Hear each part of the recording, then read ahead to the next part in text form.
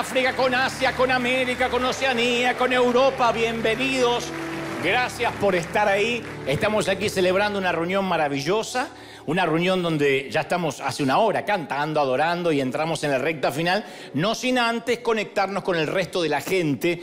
Gracias, y lo tengo que decir porque recién lo decía fuera del aire. Gracias por sembrar, porque las ofrendas, las siembras, las semillas vienen desde todo el mundo, lunes, martes, miércoles, jueves, viernes, sábado, domingo, que llaman a nuestro teléfono y dicen quiero ser parte. Porque para ser parte de una congregación no hace falta necesariamente in situ vivir físicamente, geográficamente en el lugar, sino que lo pueden hacer desde distintas partes del mundo. Y lo hacen desde distintas partes del mundo gente que, que envía sus semillas, su ofrenda, así que le damos infinitas gracias a los que están allí, a veces desde Canadá, de, de, los lugares más remotos de América Latina, dicen yo pertenezco a River. Y sí, nuestra bandera ha estado allí independientemente de que no damos paternidad a nadie. A mí no me, no me, no me metan hijos que no tengo nada que ver. Nos dan paternidad. No, no, no, no, no, yo no doy el apellido a nadie por las dudas. Pero sí, sí, sí, sé que fuera de toda broma es una, aunque uno no la da explícitamente, es una cobertura, gente que ha crecido, que se ha alimentado con nosotros, que ha estado del otro lado y que son fieles. Y hoy a toda esa gente y a nosotros te voy a presentar un nuevo capítulo cortito antes de transmitirte lo que creo Dios me dijo que diga, de Lighthouse, de nuestra tarea de amueblar casas, que ya llevamos casi 2.300 y tanto, no tengo el número exacto, pero más de 2.300 departamentos totalmente amueblados. Y en esta ocasión es Milei Martínez, su hijo Sebastián, que son originarios de Colombia, son colombianos, estaban pasándola muy mal, van a ver ustedes las imágenes al principio, que pasaron por algunos avatares, algunos infortunios, y llegamos para bendecirlo. Y como digo siempre, los muebles no le cambian la vida a nadie pero vaya que se las hacen un poquito más liviana. Y fundamentalmente les queda la sensación, Dios no me abandonó, que es lo que uno siente. A veces uno dice, Dios está en eso de que, ay, qué fila, ojalá que me hagan pasar primero. Y pasa alguien y dice, a ver, Rosa, pase. ¡Ah! Dios está en eso. Bueno, no es que necesariamente sea un gran milagro para contar, pero son los pequeños mimos que dicen, Dios me escucha en los suspiros más íntimos. ¿No te pasó? En pequeñas cositas. Dios te escucha en los suspiros más íntimos, te siente y creo que esta gente suspiró, nosotros oímos la voz de Dios y esto es lo que pasó. Mira. Dígame sus nombres. Mileín Martínez. Yo soy Sebastián Uribe Martínez. ¿De dónde son originarios? De Bogotá, Colombia. Yo tengo, ya, ya empiezo a olvidar mi edad. Estoy en 62 años. Yo tengo 36 años. ¿Cuántos hijos tiene? Cuatro hijos. Los dos mayores están en Colombia. El menor estaba aquí en California con nosotros y estamos Sebastián y yo acá. Eh, nací en, en, una familia eh, muy, digamos, de no muchos recursos. Mi mamá murió prematuramente para mí. Yo tuve que afrontar ese momento de la muerte de mi mamá. Fue duro. ¿Cómo fue el proceso de emigrar a Estados Unidos? Sí fue duro, claro que sí. El trabajo, aunque intermitente, que fue una de las motivaciones para venir aquí también. Entonces llega uno aquí pues al país también a, a comenzar entre comillas desde cero, enfrentarse uno a otros oficios, como a otros tratos también en el ambiente laboral. Y fue una experiencia eh, que yo no me esperaba que iba a ser así de dura. Las cosas empezaron a complicarse socialmente en, en Colombia bastante. Nos encontramos con, con muchos obstáculos, conseguimos un, un tráiler para vivir por eso es que eh, eh, en este momento no tenemos casi muebles ni nada. Entonces, cuando nosotros recibimos este apartamento, eh, algunas personas nos donaron eh, una sillita, o al principio estábamos eh, durmiendo en el piso. Esta estaba fría, así en una esquina, y yo dije, bueno, ah, sirve, sirve, le pusimos el cojincito para tener por lo menos donde sentarnos por ahora. Ese es el lugar que sirve como para comer, tomar café. Y cuando vamos a comer, entonces pues ahí acomodamos todo cerquita para que quepa.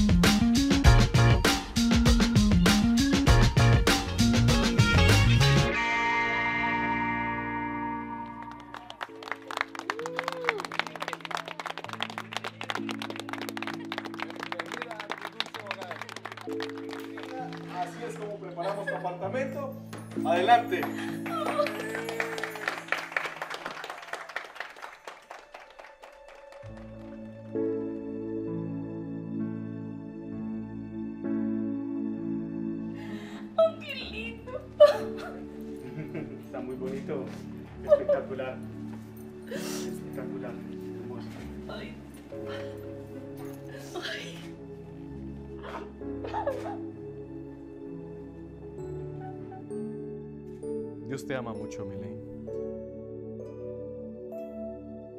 Todo está nuevo, todo está nuevo, recién sacado de sus cajas. Venga, les voy a dar un tour un poquito para mostrarles Mi oficina. la oficina. Oh, qué lindo.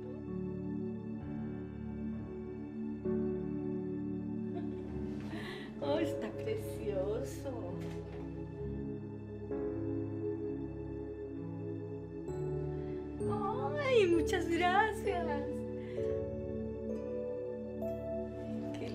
Qué lindo. Dios mío, parece otro lugar, de verdad que no Se pensaba que este lugar iba a quedar tan bonito. Pasen a ver su habitación entonces. Gracias. Listo chicos, vamos para adentro entonces y adelante para que vean cómo está. ¡Oh! ¡Ay, qué bonito! ¡Ay! Camas nuevas, colchones nuevos, sábanas nuevas, gavetero. Ay, qué lindo. Ustedes son artistas. oh, Dios santo. Ay, está tan lindo todo. Ay, qué lindo. Qué. Para que pongan sus cositas también ahí. Oh, son dos muebles.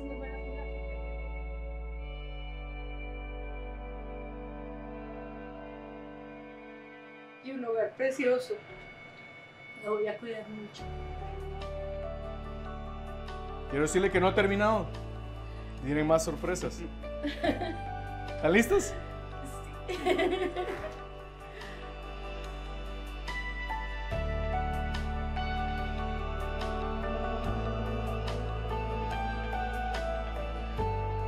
Yo sabía que iba a quedar lindo, pero no me imaginaba todo esto. Me parece que hay más. Hay todavía. más, ¿eh?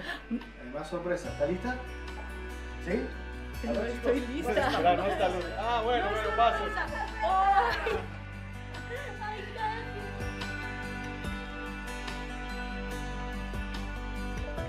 Lo que nosotros estamos sintiendo es tan halagados, tan bendecidos, tan, tan, ¿cómo diríamos? Honrados. Sí, o sea, es algo tan que uno no se lo merece, que, que es tanto amor que de verdad que no sabe uno cómo más.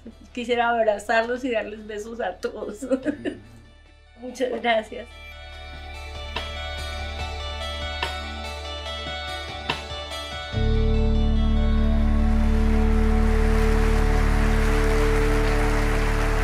Y el abrazo también para nuestra querida colombiana y su hijo. Digo, eh, de tener una mesita donde ahí hacían todo, ahora tener mesas para elegir, hace la vida un poquito más fácil. Pero fundamentalmente ella piensa, no importa si soy católica, eh, atea, judía, no importa, Dios ama a todos por igual y el amor se muestra independientemente de lo que creen. Esto es iglesia. ¿Acaso existe otra manera? No hay, ¿no? Ahí está.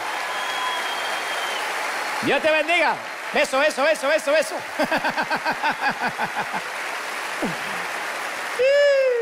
Me encanta. Bueno, por cuestiones de tiempo no te puedo hacer ahora pasar aquí, pero mami, pero gracias por, por aceptar nuestra bendición. Y la bendición llega para todos. Esto es iglesia. ¿Estamos felices? ¿Sí o no? Muy bien. ¿Están listos? Bueno, hay tres que están listos, los demás ya se van a despertar. ¿Estamos listos? Yo quiero que sepas que todo lo que te diré hoy lo he pensado minuciosamente y, he elegido cada palabra casi de manera quirúrgica para no herir fundamentalmente ninguna susceptibilidad. Entonces cada cosa que diré la he pensado mucho y la he atravesado a través de un tamiz, de un colador exhaustivo, pormenorizado y fundamentalmente muy cuidado. Y aclaro esto porque un querido amigo, a quien respeto mucho y le mando un saludo especial, él sabe quién es, me dijo, Dante, a veces creo que eres como Val Valentino. Y yo le digo, ¿quién es Val Valentino? Y me dice, ese enmascarado de los 90 que develaba por televisión el detrás de la escena de los trucos de los demás magos. y que andaba enmascarado porque decía que los demás magos lo iban a mandar a matar. Cuando él explicaba cómo es que volaba Copperfield, cómo hacían desaparecer las cosas, y Val, eh, este Val Valentino desenmascaró a muchos magos y los dejó sin trabajo. Entonces, me dice este amigo, no deberías hacer tanta autocrítica de la iglesia porque eso aleja a la gente. Y, y yo creo exactamente lo contrario. Yo, yo creo lo antagónico. Creo que una de las razones por la que la gente a veces tiene una idea equivocada de la iglesia es que piensan que una iglesia es un lugar en que las personas perfectas se juntan con otras personas perfectas para cantar cuán perfectas son. Cuando en realidad la iglesia debería ser el lugar donde se admite gente que ha caído, gente que ha fallado, gente que está rota. Es un lugar seguro, como decimos siempre, donde podemos compartir defectos, fracasos, debilidades, adicciones, necesidades, dolor. Tendría que ser lo más parecido a una reunión de alcohólicos anónimos, donde se le exige decir soy un alcohólico en recuperación. Deberíamos decir, ¿qué tal? ¿Cómo, está? ¿Cómo le va, pecadora? Bien, ¿cómo anda usted, pecador? Debería ser así. Pero nos gusta eso. Debería ser el lugar donde podemos ser lo que somos. Y no el lugar donde simulamos ser más santos, más espirituales. Entonces, cuando adoptamos poses y, posturas de perfección, creamos la religión. Y obviamente la deviene en la hipocresía.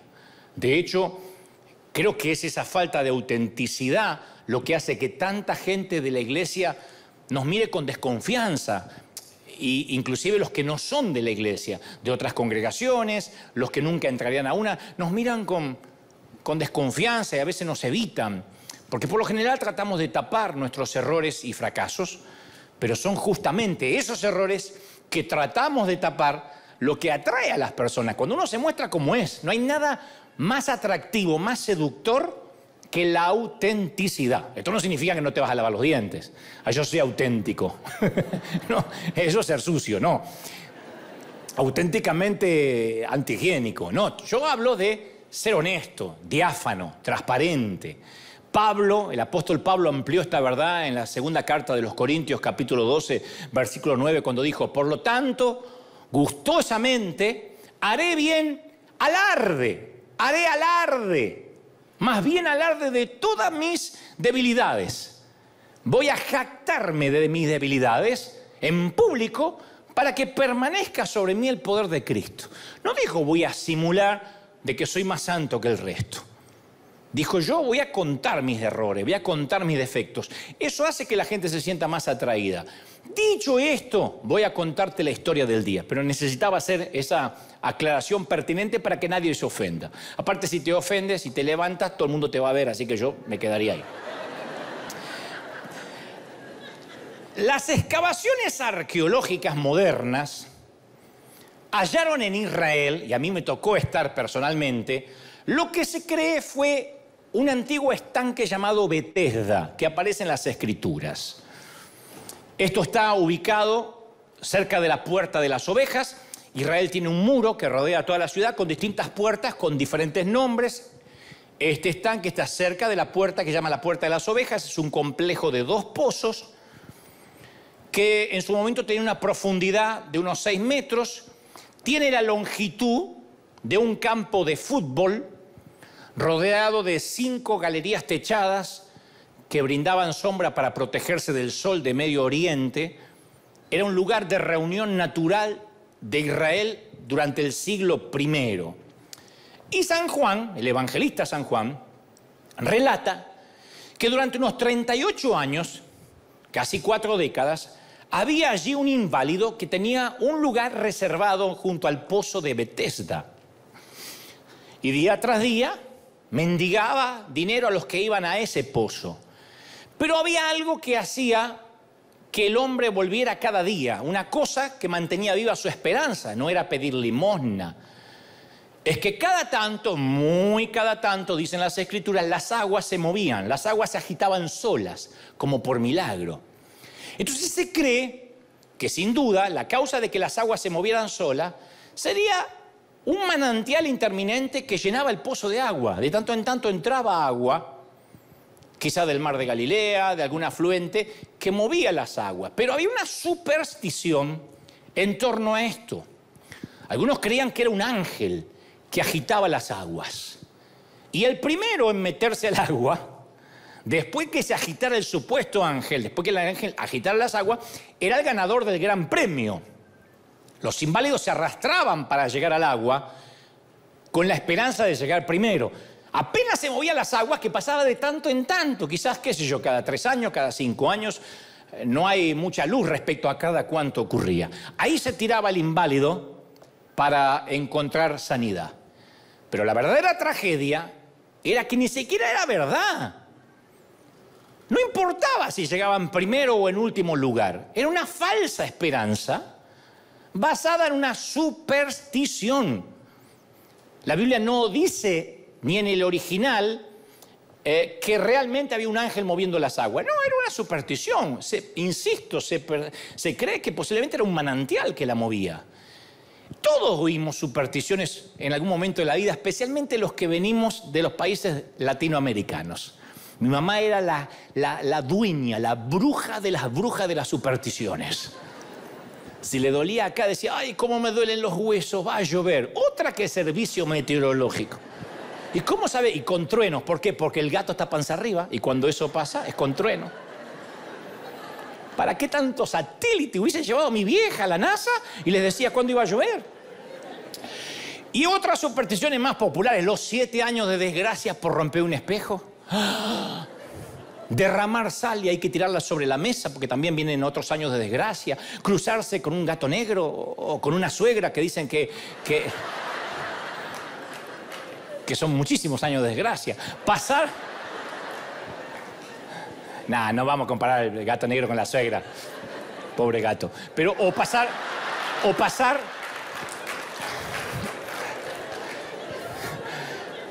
Pasar por debajo de la escalera abrir un paraguas adentro. ¡No! Mi mamá un día me dice, no abras el paraguas adentro, ¿por qué? No, trae, trae la muerte. Y una vez se metió una mariposa negra. ¡Uh! Esa se lleva a alguien, dijo. Y todos miramos a la abuela que le quedaba poco. Tirar el ramo hacia atrás en una boda creyendo que la que lo atrape será la próxima en casarse. ¿Sabe cuántas solteronas coleccionan ramos? Entonces, ¿qué es la superstición? Un mito. Una superchería, una quimera, agorería tribal. Una leyenda urbana. O una simple fantasía que se corre de boca en boca hasta que se toma como real. Proverbios 28, 19 dice, los que labran la tierra, los que trabajan, tendrán abundante alimento. Los que persiguen fantasías se saciarán de pobreza, lo dijo Salomón. Los que andan detrás de una fantasía, que puede ser ganarse el boleto de la lotería, ojalá descubra que tengo un tío millonario que me deja como único heredero. Los que están detrás de la fantasía se mueren de hambre, lo dijo Salomón hace años. Según las investigaciones serias, las, las naciones más idólatras, más supersticiosas, son las que más sumidas están en la pobreza. Las más pobres son las que más superstición tienes. Bangladesh, Níger o Níger, Yemen, Indonesia, Malawi, India. Vamos a esas naciones y las vemos en una pobreza infrahumana, literalmente, como una vez te conté en África, las mamis tratando de amasar barro con aceite para darles como galletita a los chiquitos porque por lo menos les calme el hambre, comen barro. Imagínate lo que el barro, la tierra puede hacer dentro de un estómago, por eso tienen los estómagos hinchados. Pero lo opuesto a creer, yo digo siempre, lo opuesto a creer, no creo que sea la incredulidad. Es la falsa creencia. Lo opuesto a creer, lo que está en las antípodas de la fe, no es yo no creo en nada, es la falsa creencia. Eso es lo que más atenta contra una fe real. Si alguna vez te detuviste a ver algún canal religioso o un programa religioso, es probable que vez, tal vez te hayas topado con algún charlatán. Nos ha pasado a todos. Y algunos, algunos timadores hacen promesas que la Biblia no respalda.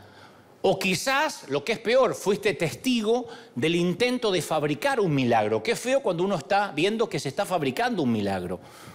Entonces cuando uno se siente engañado, timado, entonces el escepticismo va a estar rondando nuestro corazón, asomándose, dando vueltas siempre. "Mm, yo no creo en los milagros, yo no creo que Dios pueda hacerlo. Una vez estuve y vi un charlatán diciendo, Dios lo hizo y Dios no hizo nada, la persona siguió tan enferma. Entonces a veces un falso milagro nos hace escépticos. Pero hay una línea muy delgada entre el discernimiento y el escepticismo. Discernir es el ejercicio de separar lo falso para obtener lo verdadero.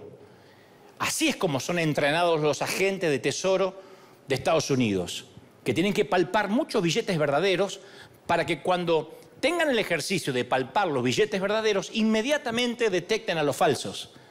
Si uno palpa lo verdadero, después lo falso, mm, inmediatamente lo detectas. Si no conoces lo verdadero, vas a ser timado con lo falso. Yo digo siempre, si algún día, alguna vez escuchas un mensaje real, predicado de una manera honesta, te vas, te vas a hacer ah, adicto a lo verdadero, a lo real. Y después cuando alguien parece no real, parece fingido, dice, "Mm, no me gusta, o sea, tu paladar se va afinando. Pero el escepticismo en sí mismo es la predisposición hacia la incredulidad por el prejuicio de una mala experiencia pasada. No, yo no creo porque una vez oré por mi mamá estando en el hospital y mi mamá se murió. Y a partir de ahí pensamos, los milagros no funcionan. Entonces los escépticos descartan todo simplemente porque no pueden filtrar lo falso. O los momentos en que Dios dice, no, no lo voy a hacer, quiero llevármela conmigo.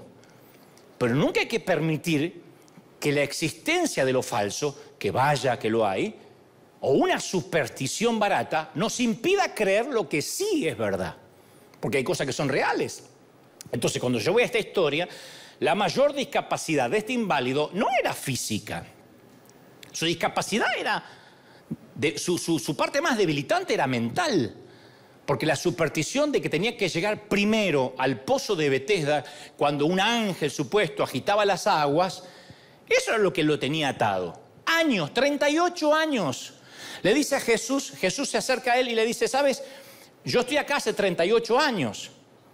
Y hace 38 años espero que las aguas se muevan. Y resulta que cuando se mueven, porque el ángel las viene a mover, cree él, alguien me gana de mano. Yo soy inválido. Y solo se sana el primero que llega. 38 años, atado a una superstición. Ustedes dirán, pero qué locura. A mí me sorprende mucho el uso de la superstición y el fetichismo hasta en el panorama cristiano contemporáneo. A mí me sorprende cuando la magia y la religión conviven estrechamente, porque es una relación que desde, el, el, prisma doctrinal resulta inconcebible. ¿Cómo la magia va a convivir con la religión? Pero a veces pensamos que es patrimonio de los brasileños. La Iglesia Universal del Reino de Dios. Viste que los brasileños promueven los objetos sagrados, están en todo el mundo. Y les funciona porque venden cruces, anillos, rosa, eh, agua, aceite, sal, pan, vela, almohada, tutada. Arepa bendecida de Sion. Un saludo a Brasil. No me van a invitar nunca. Ya Chile no me invitan más, Brasil menos. Digo, aclaro de Chile porque no lo sacamos al aire, porque tenemos unos chilenos acá y como yo vivo orando les pregunté si Chile había ido al Mundial o no y no sabían decirme. Eh, por eso aclaro de que Chile no me quiere porque mi inocencia no me va a dejar ir. Pero esos productos que venden se convierten en fetiches y se le atribuyen poderes sobrenaturales para bendecir supuestamente al creyente. Entonces los artículos esos religiosos sirven para curar enfermedades, para encontrar trabajo, encontrar el amor de tu vida, encontrar una pareja que no tenga madre. me, me salió lindo, ¿eh? Abandonar los vicios. Y esa mercancía religiosa actúa como un placebo para todo tipo de sufrimiento y se obtiene a cambio de la fe y de los bolsillos de la gente. Entonces, porque una cosa que nosotros digamos, ahí tenemos un bookstore, si alguien se quiere llevar un recuerdo, merchandising o un libro, y otra cosa es que diga, no, para ser bendecido te tienes que llevar esta rosa, ¿no? Entonces la superstición no es propiedad exclusiva de los padres de sufrir, no. También está impregnado en las comunidades cristianas más conservadoras. Yo conozco gente que se siente protegido por el mero hecho de tener una Biblia en la mesa de luz o de llevar la Biblia en el auto o en la cartera. No, yo no voy a chocar porque llevo una Biblia. No, no vas a chocar si manejas bien, no si llevas la Biblia. Yo tenía un amigo cuando era chico que decía que si algún día lo asaltaban en la calle, que es muy, muy este, especial esto en nuestros países, ¿no? Que te asalten en la calle, que te encuentres con un caco a la vuelta de la esquina. Él decía, yo tengo un método espiritual infalible para que no me hagan nada.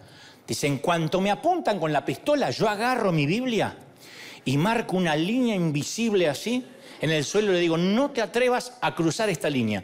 ¡Pac! Y pongo la Biblia ahí. Y después me saco los zapatos y le digo, estamos pisando tierra santa. ¡Oh!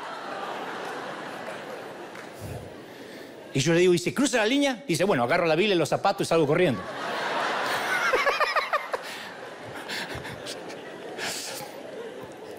Entonces, la valoración excesiva que a veces se le otorga a los objetos, a los rituales cristianos evangélicos, caen en el campo de la superstición.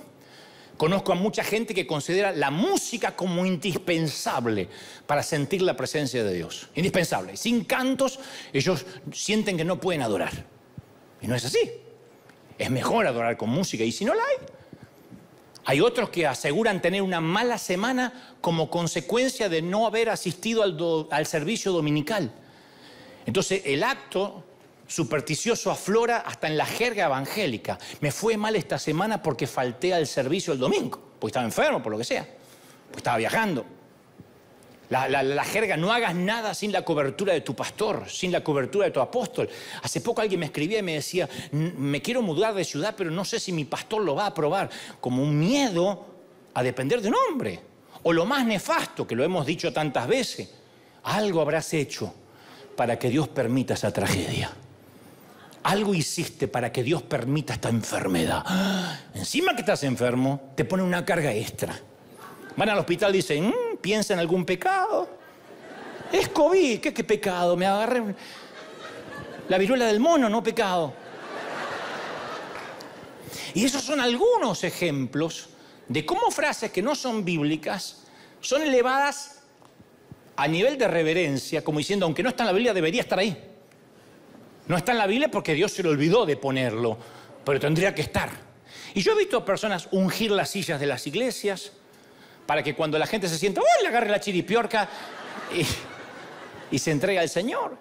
He visto, ahora yo creo en los actos proféticos, vamos a hacer esto porque me ayuda a mí, a mí me ayuda como un símbolo, como un recordatorio, pero cuando creemos que es magia, estamos igual que el que vende la Roi Edición, igual.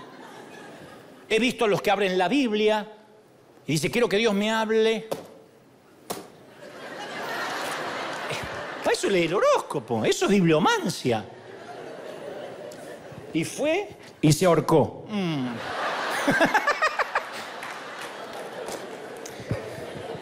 Entonces, esto demuestra la predisposición de inventar cosas que tenemos, cosas ridículas, y se predican como si fueran términos bíblicos. Son ridículas. Entonces, ¿por qué tenemos que añadir cosas innecesarias y casi sin sentido al Evangelio? Qué sencillo.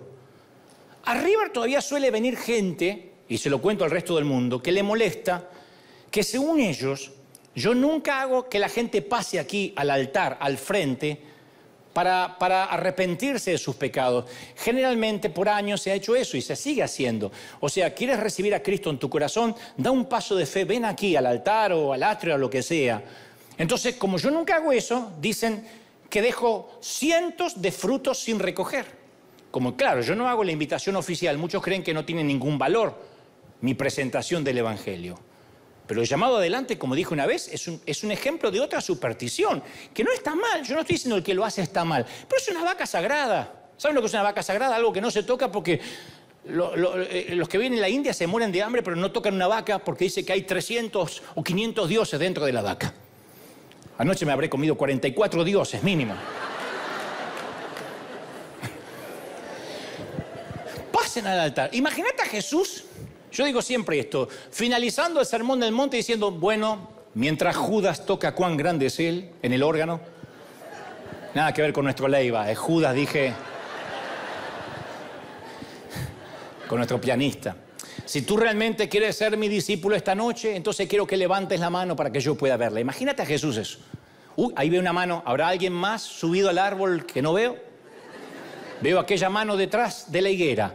Veo dos manos atrás en la montañita aquella. Ahora, por favor, mientras Bartolomé canta un especial, quiero que vengan acá los que levantaron la mano y unos discípulos amigos vestidos con un uniforme o con un chaleco o con una credencial. Te tomarán los datos para que no te escapes del monte. te van a explicar mejor las parábolas durante la semana. Entonces, la parte de pasar adelante se volvió más importante que el arrepentimiento genuino. Y además cualquiera que pasa adelante, siempre le hemos tomado los datos. Es como decimos, tenemos un nuevo adepto, un nuevo creyente en Cristo. No importa si pasó convencido, eh, si los trajeron drogado y no sabe dónde está, qué lindo cumpleaños. No, no, no sabe. Nosotros lo consideramos alma nueva porque pasó al frente. Y aquel capaz que el Espíritu Santo redargulló en su asiento ahí desde el primer momento, no pasó al altar, pero se fue con Cristo. Y nosotros pensamos, no, no se convirtió. Se fue sin dejar los datos, que es diferente. No dejó los datos, pero ¿cómo sabemos qué hizo el Señor en su corazón? Entonces, cuando uno ve la vida de Jesús, se da cuenta qué sencillo es ver el Evangelio cuando uno ve a Jesús con ojos nuevos, cuando uno le quita toda la religión. Yo me asombré al ver que Jesús no tenía ningún programa de seguimiento nunca. No tenía un equipo de discípulos para que llamaran durante la semana a nadie. No tenía que rematar la venta. Nunca. Al contrario, él decía, síganme. Él decía, síganme a mí. Nunca anduvo de puerta en puerta buscando al tipo que sanó la semana pasada para compartir otra nueva parábola con él. Nunca dijo, ¿le tomaste la dirección al joven rico? Ay, Andrés, tomale el WhatsApp. Hay que visitarle en la semana y explicarle mejor. Se fue triste el tipo, perdimos a un rico. No, él tenía la actitud, si quieren vida eterna, tienen que seguirme a mí. Entonces en River no seguimos a nadie, no perseguimos a nadie, tenemos eh, discipulado, tenemos seminarios de crecimiento, 12 pastores, pero no le mandamos el FBI o la migra espiritual a nadie. Y esto lo hacemos porque no subestimamos lo que el Espíritu Santo hace en el corazón. Eh, es el Señor el que cambia una vida. Yo no puedo convencer a nadie de cambiar de vida. Nadie. A menos que estén convencidos. Si la gente se va de acá convencida, ahí sí hay que convencerlo un poco más. Pero 30 segundos de cielos abiertos a Saulo lo convirtieron en Pablo. Y eso no ha cambiado hasta el día de hoy. A menos que haya venido aquí y no se haya encontrado con Dios. Si la gente, como digo siempre, se va de aquí hablando del Elías de Dios, se dice, uy, qué lindo este Dante, y qué lindo la música, y qué lindo que cantó la Drew. Entonces, ahí sí necesita que lo sigan al tipo y que lo convenzan de regresar. Pero si tuvo un encuentro con el Dios de Elías, no va a querer irse jamás, no hay que convencerlos de nada, su corazón se va a cambiar para siempre, va a decir, yo quiero regresar. Alguien tiene que decir amén, ¿sí o no? Entonces, no te vamos a pedir los datos a menos que quieras dejarlos. Pero no solo es supersticioso el que compra el supuesto aceite ungido de Jerusalén a un predicador brasileño. De ahora hay una demanda de los brasileños después de esto. Sino que también es supersticioso el que falta un domingo y cree que le va a caer un piano en la cabeza o lo va a chocar un chino. A mí me han chocado chinos y no falta un domingo. Es supersticioso el que se siente culpable si no ofrenda. Porque no hay que ofrendar para no sentir culpa. Es supersticioso el que ah, escuché música mundana porque cree que le va a traer una maldición como si hubiese pasado por debajo de una escalera. No, cuando algo malo sucede, como le sucede a todo el mundo, porque la vida son primaveras e inviernos, la vida son buenos momentos y de los otros. Pero cuando vienen esos momentos tristes o las tormentas, el cristiano supersticioso achaca la maldición a un mal comportamiento. Pero eso no es lo peor, lo peor que lo hace con los demás. Suelen amenazar que te va a sobrevenir una maldición, que, que vas a sufrir en el infierno. Cuando algo ellos no lo aceptan, cuando algo no lo conocen o les suena raro, vas a arder en el infierno. Ellos suelen maldecir. Y como si fuese poco, esas supersticiones de iglesia son muy permeables a las diferencias culturales. Porque hay congregaciones en alguna parte del mundo donde llevar una falda corta puede ser motivo de maldición en ciertas comunidades y capaz que en otro lugar del mundo pasa totalmente inadvertido. Hay ropas que son permitidas en cierta cultura y hay otras que en otras culturas son aberrantes. ¿Vieron las mujeres musulmanas que se envuelven todas y apenas se le ven los ojos? Pero es lo que ellos toman como normal. Y por ahí te ven a ti vestida y dicen, no, eso es una liberal. Y no, en esta cultura estás perfectamente digna vestida. Pero a veces nosotros tomamos esas cuestiones culturales y las transformamos en una superstición. Entonces hay una diferencia entre la integridad y la superstición. Una cosa es buscar la integridad y otra cosa es la superstición. Yo recuerdo a mi mamá la culpa que tuvo cuando una vez se cortó el cabello. Mi mamá tenía un cabello hasta debajo acá de, la cola, porque desde que entregó su corazón a Cristo dijo, no me voy a cortar más el cabello. Tenía un cabello larguísimo, se había sanado de cáncer y tenía un cabello y le daba dolores de cabeza cuando se tenía que peinar semejante cabello, una mujer tan grande. Y un día se cortó las puntitas del cabello, porque estaban desparejas. Y entonces alguien le dijo, va a venir una maldición porque le fallaste al Señor en la promesa. Y ella vivió hasta que le crecieron a otra, hasta que se volvieron a poner despareja las puntas. Vivió con una superstición de que a partir de ahí todo le iba a salir mal. Imagínate un padre así, un Dios así. Por eso digo, la delgada línea que separa al íntegro del, del supersticioso no es fácil de ver. Porque muchos, muchísimos, no se dan cuenta de que no están actuando a menudo por integridad, por buscar la santidad, sino por superstición. El supersticioso no es consciente que no adora al Dios amoroso, sino a un Dios mandón, un Dios rencoroso, un Dios manipulador. Y no se da cuenta que no adora a Dios, sino que quiere controlarlo. De hecho, le enseñaron que Dios está obligado a bendecirlo si actúa como tiene que actuar. Yo he escuchado eso, Dios está obligado a bendecirme. Dios no está obligado a nada, no te debe nada.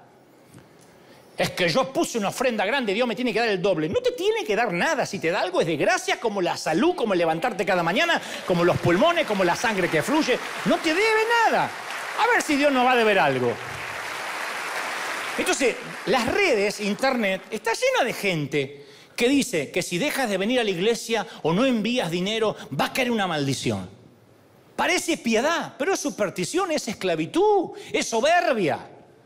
Y quien lo enseña es doble esclavo y doble soberbio. Y como aclaro siempre, convengamos que Jesús nunca dijo que no podamos tener preferencias religiosas. Vamos a dejar esto en claro.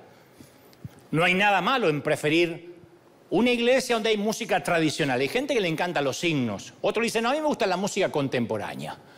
Los signos antiguos. Otro dice, no, a mí me gustan las bandas de rock. No hay nada malo en querer ir a una iglesia que parece una disco, con luces, con pantalla, con humo.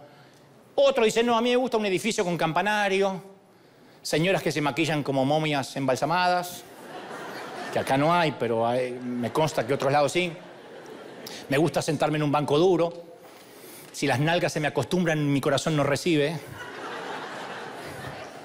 O que prefieras predicadores con pantalones chupines, tatuajes, botitas de moda, o elegantes como yo. O al revés. Yo con pantalones chupines soy un hombre, me das una moneda. ¿Sabes lo que Lo que Jesús dice, no permitas que esas preferencias se conviertan, o tradiciones, se conviertan en leyes. Que las otras personas están obligadas a seguir si quieren seguirme a mí. Eso dice el Señor. No tome lo bueno y lo conviertas en algo fundamental, porque esa es, esa es lo que nos separa, la religión que nos separa del Señor. Tienes que hacer esto para que Dios te ame. No. Otra manera de decir esto es cuídate de no adorar algo bueno como algo divino, porque eso es superstición barata. Está bien, te gusta hacerlo por integridad, yo lo respeto, pero no digas, el que no hace esto como lo hago yo, se va al infierno. No, eso es una superstición. Si no conocemos el corazón de la gente, ¿cómo voy a conocer yo tu corazón? ¿Cómo vas a conocer el mío? Si yo no conozco el mío, dice la Biblia que es engañoso. ¿Por qué juzgamos a lo demás por la apariencia, por la forma de ser, por lo que cree, por cómo se viste? Viste que viene con una crucecita en el cuello y tiene un tatuaje y se le asoma una viborita por acá. ¿Qué sé yo? La superstición no puede salvarle la vida a nadie. Solo Jesús da vida. Y cuando le agregamos algo a Jesús, en realidad le estamos quitando todo. Jesús no es Jesús más algo, es Jesús, lo dije un montón de veces, es Jesús simplemente. Pero regresemos a la historia del día. Jesús se encuentra con el inválido, que está allí, tiene 38 años esperando que el agua se mueva por un supuesto ángel, y en San Juan 5.6 le pregunta a Jesús, le hace un interrogante que parece ridículo, es una preguntonta casi. Le dice, ¿quieres quedar sano? Digo, la capacidad de Jesús de formular la pregunta correcta en el momento justo es un arte en su máxima expresión. Le está preguntando a un tipo que le acaba de contar que hace casi 40 años está esperando meterse en el estanque para sanar sus piernas, le dice, ¿quieres ser sano realmente? Uno diría, y más vale, ¿qué va a querer el tipo? ¿Por qué está acá? Pero uno no puede ayudar a quien no quiere ayuda por mucho que lo necesite. Yo te puedo dar cátedra de esto, tengo años en este peregrinar. No hay peor ciego que el que no quiere ver. Uno no puede ayudar a gente que no quiere ayuda. Uno de los ladrones que estaba crucificado junto a Jesús, el que profería insultos, es un ejemplo de eso. Estaba a menos de dos metros de la salvación, pero insultaba y maldecía al único que pudo haberlo ayudado, como al otro ladrón. Mira, desde que empezamos a bendecir gente, especialmente durante la pandemia, en el 2020, que salimos a las calles, yo aprendí una de las verdades más dolorosas, que te lo conté un par de veces. Algunas personas quieren ayuda y otras no quieren ayuda. Hay mucha gente que se resiste al cambio, incluso cuando sea un cambio para mejorar. Conocí mucha gente que prefiere mil veces vivir de la ayuda social, de la ayuda del gobierno, antes que conseguir un empleo. Prefiere que le regalen una casa antes de comprarse la suya. Y uno dice, ¿cómo alguien puede preferir eso? No creerán la cantidad de gente que no quiere cambiar. Es muy fácil acostumbrarnos a nuestras muletas. Muy fácil. Las muletas al principio son una molestia y después es parte de la nueva normalidad. Hay hijas que se casan y tienen una muleta llamada mamá y a través de los años se viene quejando que mi, mi- mamá se mete, que mi mamá se opina, que mi mamá es la que me, enseña a criar los hijos. Pero ¿quién tiene la culpa de tener esas muletas? ¿Quién tiene la culpa de decir, ay mamá, ven a ayudarme"? ¿Quién tiene la culpa? Nos puede ayudar una vez, dos veces, tres veces. Cuando se transforman en muletas, tú no quieres ser adulta. Tú no quieres criar tus hijos a tu manera, quieres que alguien te los críe. El mundo del inválido consistía en un metro cuadrado, una mantita que desenrollaba todos los días. De hecho, esa mantita le daba seguridad. Pero si querés estar mejor, no puedes seguir sentándote siempre en la mantita segura. No se puede en la vida. No puedes seguir haciendo lo mismo, yendo a los mismos lugares, reuniéndote con la misma gente y decir yo quiero cambiar. No va a cambiar. Por eso Jesús le dice, ¿de verdad? ¿De verdad quieres estar sano? Porque para el inválido significaba que tenía que conseguir trabajo. Usar sus piernas que ahora estaban, iban a estar sanas. Significaba un nuevo nivel de responsabilidad ante la sociedad. Y como sucede con todas las bendiciones de Dios, el gestionar, el administrar esas bendiciones. No todos están listos para una red llena de peces. Queremos que Dios nos bendiga y no estamos listos para gestionarlo. ¿De verdad quieres estar mejor? ¿De verdad quieres que te vaya bien? Es una pregunta que el Señor te hace siempre. ¿De verdad? Porque a veces necesitamos una dosis de realidad, a veces necesitamos una buena patada donde no da el sol. Mira qué fino, ¿eh? Pude haber dicho trasero y no lo dije. Y eso lastima nuestro ego, pero si se nos dice, si alguien nos dice la verdad con amor, puede sanarnos el alma, de verdad, porque vas a tener que trabajar, ¿eh? ¿De verdad quieres subir tu estatus migratorio? ¿Quieres arreglarlo? ¿De verdad quieres tener ese hijo? ¿De verdad quieres casarte? ¿De verdad quieres asumir una responsabilidad? ¿De verdad le estás pidiendo más dinero que tu empresa crezca? Porque va a tener más responsabilidad. Proverbios 27.6 dice, más confiable es el amigo que hiere que el enemigo que besa. y a veces nos hace falta un amigo que diga, ¿de verdad? Porque los amigos del campeón, los que vienen después, no, no nos dicen la verdad. Nunca nos olvidemos que el Señor llamó diablo a Pedro y llamó amigo a Judas. Y esto fue porque en un momento Pedro le dijo a Jesús, ni loco voy a dejar que vayas a la cruz. Y el Señor dijo, eres un diablo, diablo, no te voy a escuchar. Pedro lo quería alejar de su propósito. En cambio, Judas lo llamó amigo porque era quien lo iba a llevar a cumplir la misión por la cual había venido. Entonces, uno no tiene que rodearse de personas que nos adulan. Uno necesita en la vida dos o tres que nos digan las cosas en la cara, que se metan en nuestros asuntos de tanto en tanto, aunque nos moleste. No me dice nadie, me está diciendo, eh, ¿por qué? Porque es así. A veces necesitas oír lo que no te gusta oír y hacer lo que no quieres hacer. No puedes esperar que Dios haga lo sobrenatural si ni siquiera haces lo natural.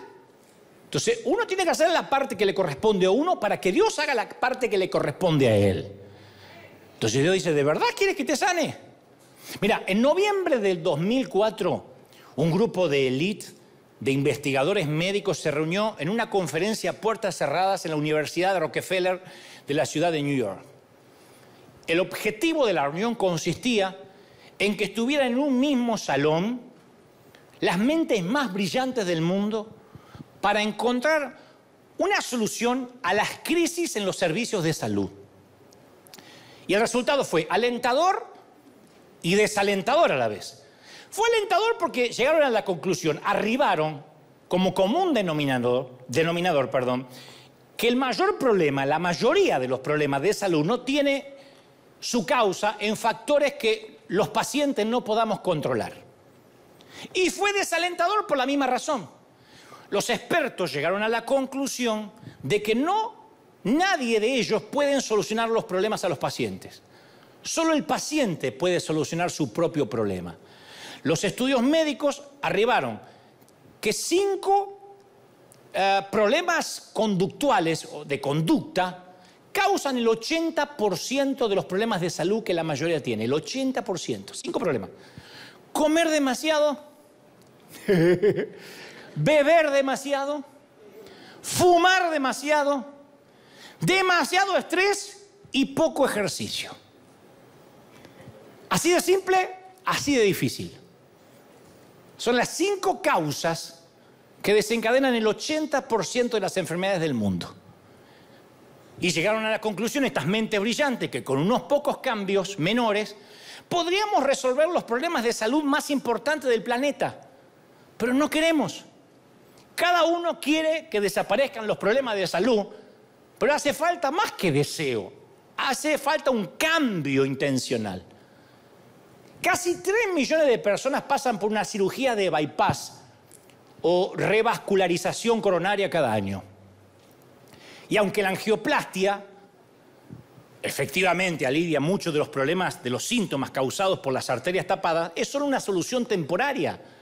Si no hay cambios en los hábitos alimentarios, en la rutina de ejercicio, los beneficios del stent, de la angioplastia, duran poco.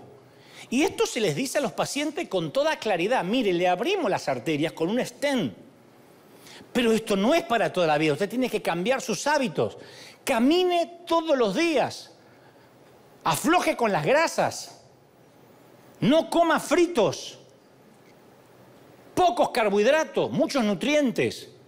Pero las investigaciones señalan que si miramos a los pacientes de bypass coronario dos años después, el 90% nunca cambió su estilo de vida. Les vuelve a agarrar otro infarto.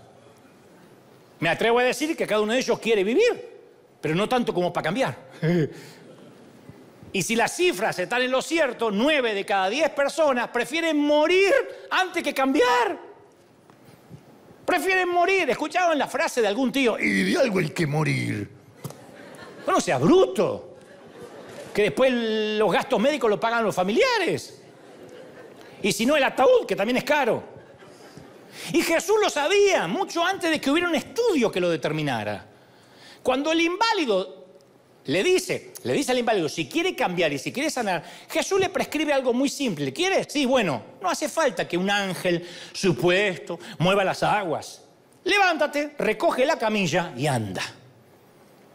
Y cuando, se le dijo, cuando le dijo que se levantara y caminara, le estaba pidiendo que hiciera algo que no había hecho en 38 años. Eso, mi querido, mi querida, es lo que hace falta si queremos experimentar algo milagroso. No podemos seguir haciéndolo de siempre. ¿Por qué esperamos resultados diferentes haciendo lo mismo de siempre? No entiendo. Te vas a agarrar otro infarto. Si sigues comiendo así, se te van a tapar las arterias. Si sigues maltratando a tus hijos, por más que les pidas perdón después de cada maltrato, algún día te van a abandonar en un geriátrico, en el mejor de los casos. No podemos repetir lo mismo y esperar resultados diferentes. Entonces quizás tengas que hacer cosas que no has hecho en mucho, mucho tiempo. Si quieres cambiar de verdad, tienes que cambiar la ecuación de tu vida, sumando o restando algo. Tienes que hacer menos de algo o hacer algo diferente. Porque el equilibrio prolongado nos duerme los sentidos, nos duerme la mente, nos atrofia nuestros músculos. Nuestro mundo se va haciendo cada vez más pequeñito hasta que nuestro universo se reduce a un metro cuadrado. Eso pasa en el plano del ejercicio físico, perdón. Las rutinas, cuando se repiten, eventualmente se hacen contraproductivas. Yo sé que todos acaban al gimnasio y saben de lo que le hablo. Pero si ejercitas los mismos músculos de la misma manera todo el tiempo, los músculos se adaptan y dejan de crecer y disminuye el beneficio neto. Entonces hay que desorientar los músculos. Una vez me dijo un personal trainer allí en Argentina, vamos a desorientar tus músculos. digo, yo vivo desorientado y encima me querés desorientar los músculos. Bueno, pero los mismos valen en términos espirituales. Ahora, no sabemos por qué el inválido es inválido en las escrituras. Si fue un defecto congénito, algo genético, un accidente. Pero el inválido no se paró sobre sus dos pies en casi cuatro décadas. Y ahora por orden de Jesús está comenzando a caminar. Y yo quiero que sepa que si has estado en cama durante mucho tiempo vas a entender lo que estoy diciendo. Formar los músculos lleva mucho tiempo. Atrofiarlos es cuestión de dos, tres días en cama. Dos, tres días en cama y no, no, les pasó cuando atravesaron el COVID o estuvieron, que, vas, vas al baño así y pareces la lagartija de National Geographic. La lagartija buscando aparearse. Se atrofia. Y, las piernas de este tipo no eran más que piel y huesos. No tenía músculos. Y lo más importante, no tenía memoria muscular. Nosotros damos por sentado que caminamos. A veces en Hollywood hacen ese momento del milagro de Jesús y levántate y anda. Y el tipo hace, ¡uy! se pone a saltar. No. Estar de pie es una, y caminar es una hazaña neuromusculoesquelética. El solo hecho de estar de pie requiere de una maravillosa coordinación entre sistemas sensoriales, las diminutas estructuras del oído interno que regulan el equilibrio, los propioceptores de las articulaciones que detectan cambios menores en el alineamiento, los ojos que brindan información visual del entorno, la orientación de tiempo y espacio. Estar de pie no es algo simple. Caminar, menos simple todavía. Y algo que más me asombra, que Jesús no solo lo sanó de las piernas, lo sanó de la su superstición. Y como efecto colateral, también quería sanar a los religiosos de sus supersticiones. Porque te cuento rápido. San Juan 5.10 dice que los judíos le dijeron a aquel tipo que estaba sanado, yo creo que el tipo caminaba así al principio, así, porque parecía esos bebés que están empezando a caminar, que uno dice, ¡ay, qué lindo camina! Como papá uno se alegra, pero es torpe. Parece un marinero borracho en el tablón. ¿O no? Ah, Yo creo que así. Pero los judíos, los religiosos dijeron, lo sanó en sábado, el día de reposo. Y el tipo iba con la camilla, porque fue la orden de Jesús, envolvete la, la esterilla, envolvete la mantita y andate. A propósito le dijo, no dijo, déjala acá, envolvete y llévatela. Y le dijeron, no es lícito llevar tu camilla. Y el tipo dice, ¿qué sé yo? El que me sanó me dijo que me la lleve. Me dijo, agarra tu camilla y anda. Jesús podía haber sanado al inválido cualquier día de la semana. No, él lo hace el sábado. Porque sabía que iba a sacudir el sistema religioso les iba a tirar las supersticiones al demonio. Jesús ofendió a los fariseos con intencionalidad. Esa mañana mientras se lavaba los dientes dijo, hoy voy a ofender fariseo. Dijo, toma, con alegría, con disfrute, toma. Pues es que la frase más famosa que yo escuché en el pueblo cristiano, ¿sabes cuál es? Tené cuidado, Dante, de no ser piedra de tropiezo.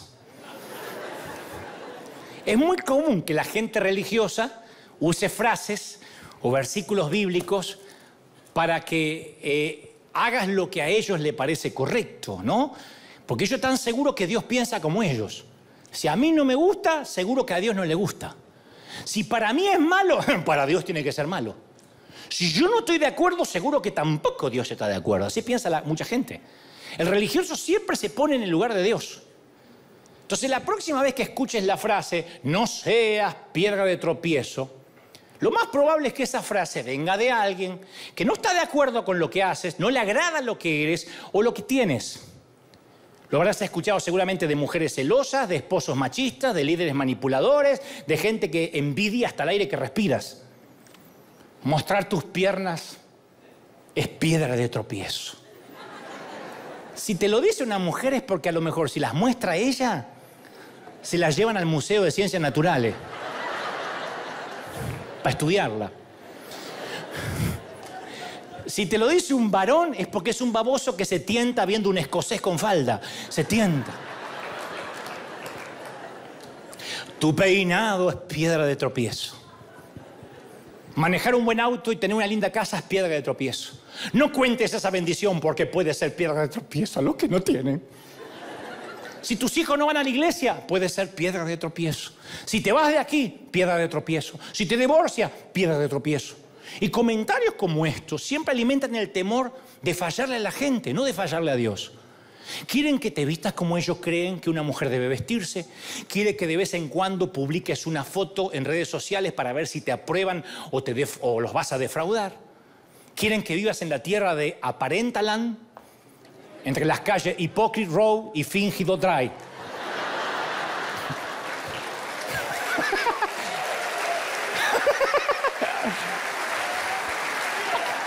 y en sexta. Nunca olvides esto. La aprobación de la gente no siempre determina la aprobación de Dios. Porque puede que le estés agradando a toda la gente. Digan, ay, qué testimonio. Ay, qué... Y le estés desagradando a Dios porque es un hipócrita. Nosotros creemos que si le agradamos a la gente, seguro que le estamos agradando a Dios. Si yo voy a la Biblia, la prostituta desagradaba a la gente, el publicano desagradaba a la gente, todos los con los que Jesús comía desagradaban a la gente.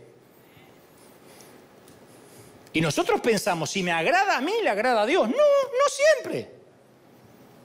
Romanos 2.1 dice, no tienes excusa. Cualquiera seas tú el que juzga, porque al juzgar a otro, tú mismo te condenas, porque tú que juzgas practica las mismas cosas en secreto. A ver quién tiene altura moral para juzgar al otro diciendo yo jamás he sido un chismoso en mi casa. tu abuela.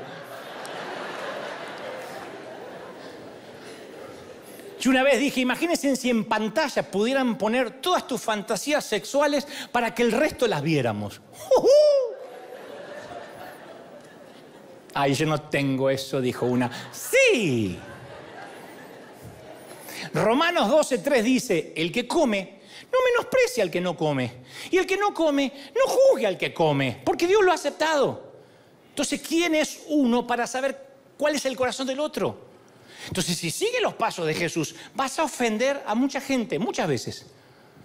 Los fariseos habían hecho una lista larguísima de permitidos y prohibidos religiosos, llamado eh, mitzvot.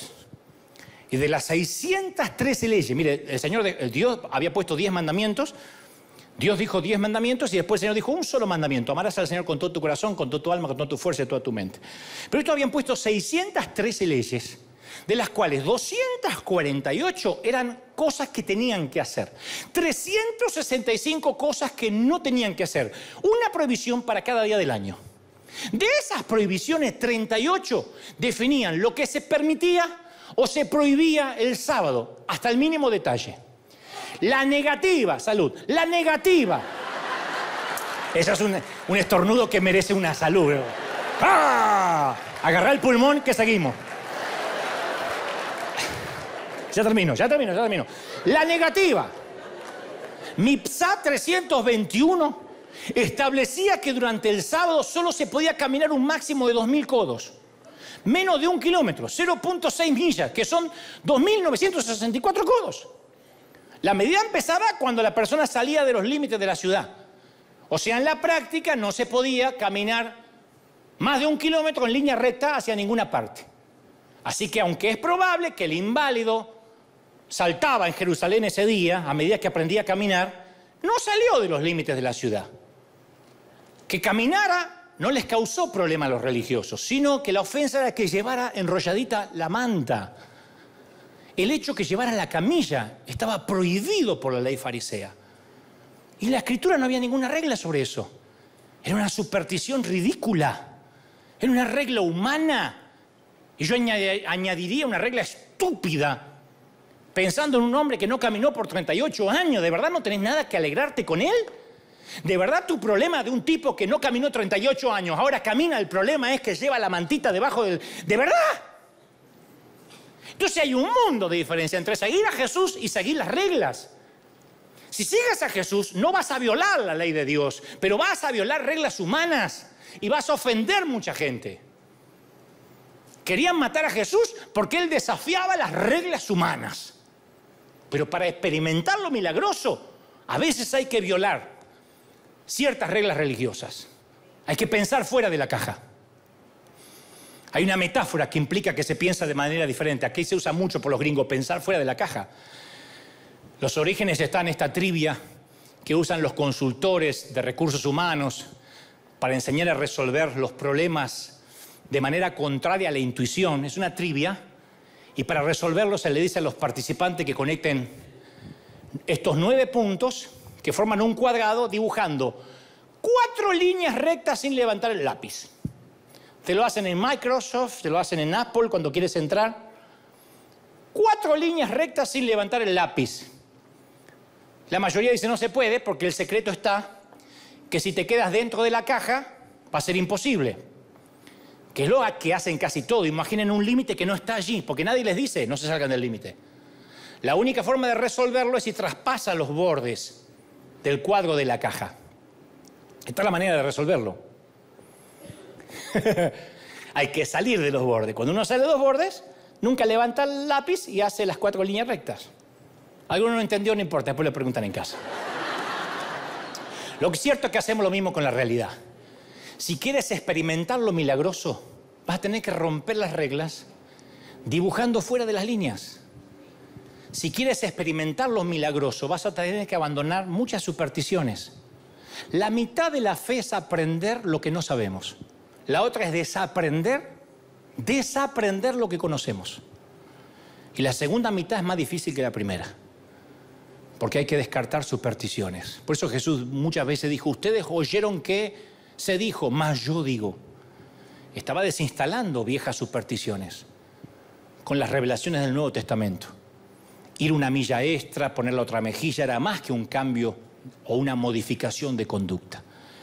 Jesús estaba haciendo reversa a las viejas reglas e instalando nuevas.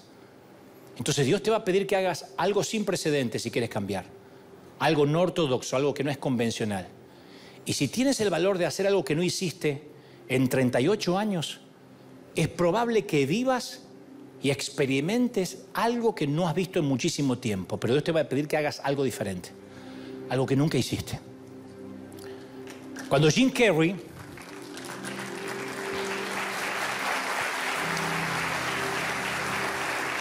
Cuando Jim Carrey era un actor que buscaba trabajo y trataba de triunfar en Hollywood, conducía siempre por el camino aquí cerca en las montañas de Santa Mónica hasta un lugar donde se ve de arriba toda la ciudad de Los Ángeles. Y él cuenta que se decía a sí mismo, todos quieren trabajar conmigo, soy muy buen actor, tengo ofrecimientos para hacer todo tipo de películas. Y se lo decía cuando no trabajaba en ninguna parte. Él dice, me repetía una y otra vez, convenciéndome literalmente de que tenía varias películas y guiones en espera. Y después volví a mi auto, listo para conquistar el mundo. Y como declaración de fe, Jim Carrey se hizo a sí mismo un cheque a su nombre por la suma de 10 millones de dólares. Cuando apenas podía comer comida chatarra, pero se hizo un cheque de 10 millones de dólares a sí mismo y le puso la fecha futura para el Día de Acción de Gracias, Thanksgiving, de 1995. Y en donde se dice el concepto, puso por los servicios prestados, 10 millones de dólares. Y lo guardó en su billetera para recordarse a sí mismo que lo que soñaba se podía hacer realidad. Cuando llegó el Día de Acción de Gracia de 1995, Jim Carrey ganaba 20 millones de dólares por película. Entonces yo no estoy sugiriendo que un cheque de fantasía va a ser lo mismo por nosotros. Lo que estoy sugiriendo es que si nuestras eh, palabras, nuestro corazón están en línea con la palabra de Dios y pensamos fuera de la caja, ahí van a ocurrir milagros. Entonces yo vuelvo a formular la pregunta, ¿de verdad quieres ser sano? ¿De verdad estás listo para un cambio? Porque si no quieres un cambio, sigue haciendo lo que estás haciendo, no cambies nada. Pero si quieres cambiar, si quieres sanar, tienes que dar un paso de fe. Y recuerda que no se trata solo de aprender a caminar, necesitas cargar tu camilla, desaprender muchas supersticiones, pensar fuera de la caja y fundamentalmente, nunca te lo olvides, ofender a mucha gente a las cuales te están tomando examen continuamente. Tu único público tiene que ser Dios. A Él solo le tienes que agradar y tienes que sentirte que Él está feliz contigo. Vamos a dar un aplauso al Señor de señores. Vamos, vamos, dar un aplauso grandioso. Aplaude al Rey de Reyes. Dale un gran aplauso y del Señor. Dios ha hablado hoy. Que ese aplauso se escuche hasta Los Ángeles. Que lo escuche Jim Carrey. que se escuche ese aplauso maravilloso, gente. Aquí donde estés, repite conmigo. Dice, Señor Jesús. Fuerte, Señor Jesús. Entra en mi corazón perdona mis pecados. Fuerte, anota mi nombre en el libro de la vida. Es una oración cortita de arrepentimiento, sencilla. Pero dice, si confesares con tu boca, el Señor va a hacer ese cambio en realidad, ese milagro. Levanta tus manos, quiero orar por ti. Padre, he hablado lo que me has dicho que le diga a este tu pueblo. He transmitido lo que creo has puesto en mi corazón y torpemente he hecho el intento de llevar al corazón de esta gente tu palabra, tu verdad, Señor, hay gente que va a cambiar, hay gente que se le vienen cambios de paradigma, de vida, de, de, de, de destino. Y yo te pido que esta palabra selle ahora en los corazones de aquellos cuyas supersticiones los tenían atados. Te libre, Dios, de toda cautividad mental.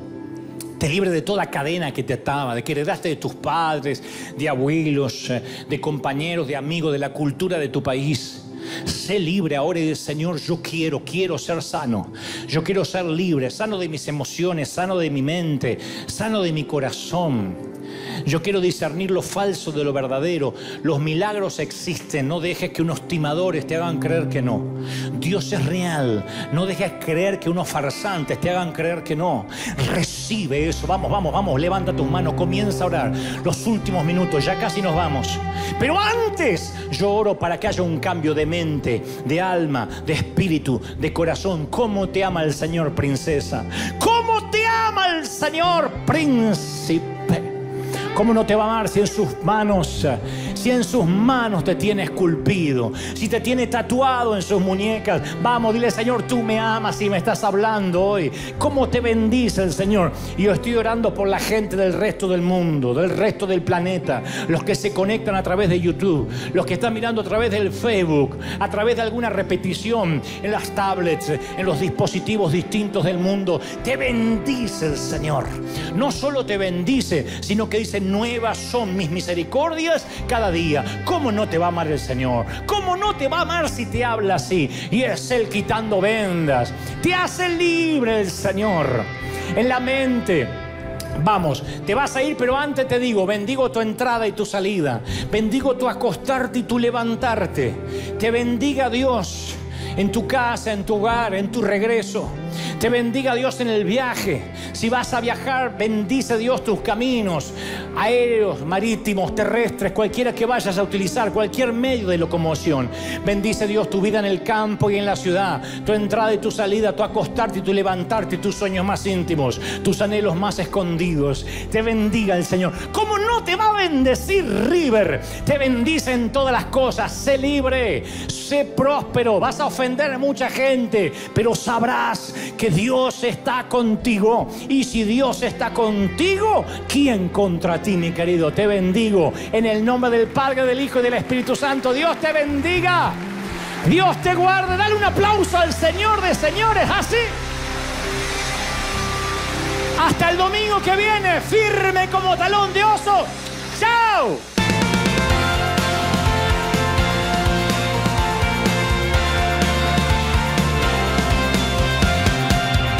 Apareciste una noche de soledad, abandonado y perdido te reconocí. Tu voz diciéndome no temas, yo estoy aquí.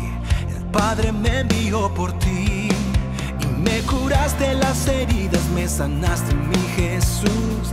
Todas mis cargas las dejaste allí en la cruz. Algo tan grande no lo puedo comprender. Oigo tu dulce voz diciéndome y otra vez. Oh, oh, oh,